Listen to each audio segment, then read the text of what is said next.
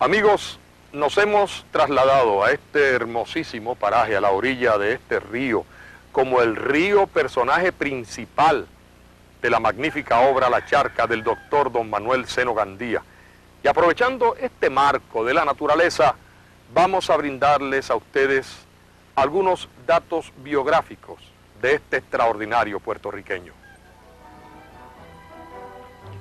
A mediados del siglo XIX, el 10 de enero de 1855, nace en Arecibo don Manuel Seno Gandía, médico, novelista, poeta, político y periodista.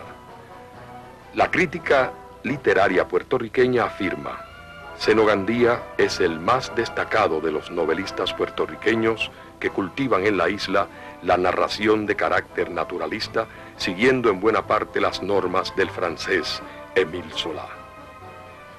Don Manuel Senogandía, el estudiante, cursa estudios de primera enseñanza en Barcelona, España, donde su familia ubica su residencia. Al adquirir su título de bachiller, se traslada a Madrid y en la Universidad de San Carlos obtiene el título de doctor en medicina y cirugía. Para nuestro joven galeno, la medicina y las letras van de la mano.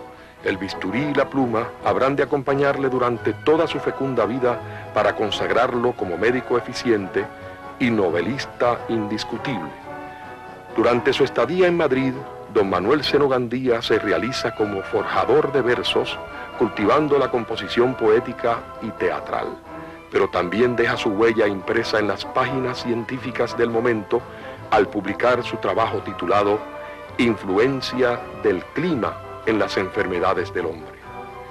El joven galeno cruza la frontera española y se dirige a Francia.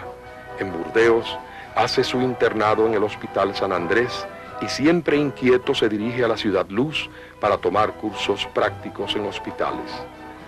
París es escenario de las nuevas rutas que habrá de explorar el espíritu sensible del futuro escritor, tanto en el campo científico como en la corriente literaria francesa del momento. Su admiración por la obra de don Émile Solá, padre de la naciente literatura naturalista, influirá en forma definitiva en su carrera como novelista puertorriqueño.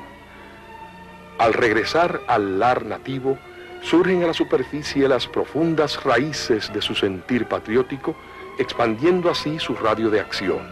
Vemos entonces al doctor Manuel Seno Gandía volcar sus ideas reformistas en los principales rotativos del país que eran el Estudio, Revista de Puerto Rico, la Azucena, la Revista, la Opinión y la Correspondencia de Puerto Rico, de la cual llega a ser director y dueño.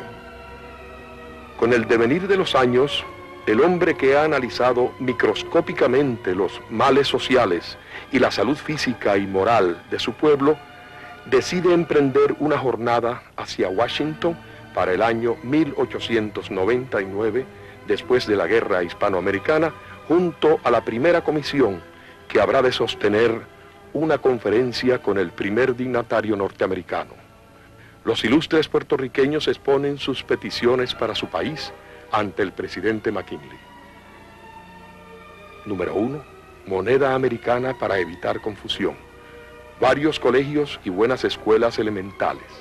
Un grado mayor de conocimientos agrícolas para aumentar la cantidad de productos de los plantíos del país y la eliminación del gobierno militar. Puerto Rico desea que el presidente nombre un gobernador y un secretario para el territorio. Al llegar el año 1902, el doctor Seno Gandía se retira de la medicina y actúa como representante a la Cámara por Arecibo al implantarse el gobierno civil en la isla. El doctor Manuel Seno Gandía pasa las páginas de nuestra historia primordialmente como escritor laureado. Citamos a Delia Díaz de García.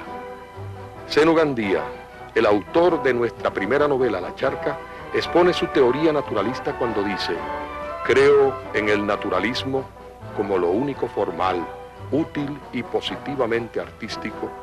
Según él, el naturalismo es el único medio para llevar a comprender el mundo y a los seres que viven en él. Seno Gandía palpa esa realidad humana en su gran obra que tituló La Charca. Ese título representa la podredumbre social.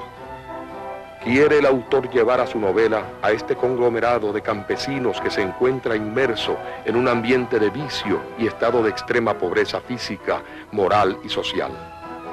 Los retrata de cuerpo entero en su vivir cotidiano y real. Son los campesinos que viven tierra dentro del Puerto Rico contemporáneo del autor. Para Seno Gandía todo aquel mundo humano no era más que un inmenso hospital. Los individuos y las familias arrastraban por las cuestas las cadenas de dolencias físicas. Aquello era una tumba de vivos. Pero si la charca es símbolo de bajeza moral, entre las montañas del Puerto Rico del siglo XIX de Seno Gandía, entre las siembras del dorado café, siempre asoma el río presente como un personaje viviente.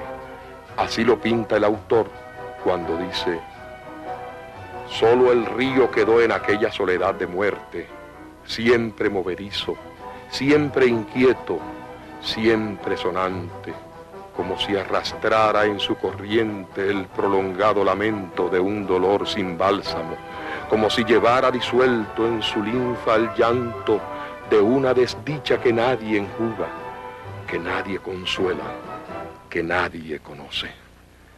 El doctor Manuel Seno Gandía nos abandona para siempre en San Juan el 30 de enero del año 1930.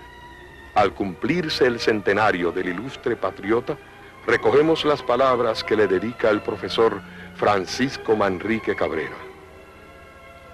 Hemos venido a saludar, agradecidos, a don Manuel Seno Gandía, poeta del novelar isleño en su gloria y al cumplir sus primeros 100 años de vida puertorriqueñamente universal.